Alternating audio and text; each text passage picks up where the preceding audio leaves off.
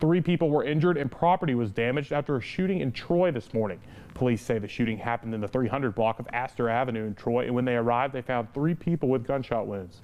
Two of the victims were taken to the hospital for treatment. One was treated at the scene. All are expected to survive. If you have any information or video in this case, you are asked to contact the Troy Police Department at 334 566 0500 or 334 566 5555 to remain anonymous.